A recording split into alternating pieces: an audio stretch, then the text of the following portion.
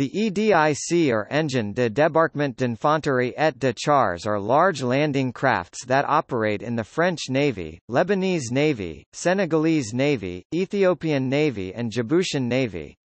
EDICs have the typical landing craft utility design with a bow ramp and have a large aft superstructure compared to the far derivative CDIC. They are designed for coastal support as well as to operate from mother ships such as BPCs Mistral type or TCDs Foudre type.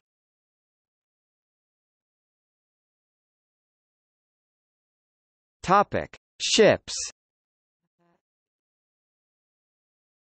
EDIC Sabre, L9051 Type 700 EDIC Dague, L9052 Type 700 EDIC Sour 21 Type 700 EDIC Damour 22 Type 700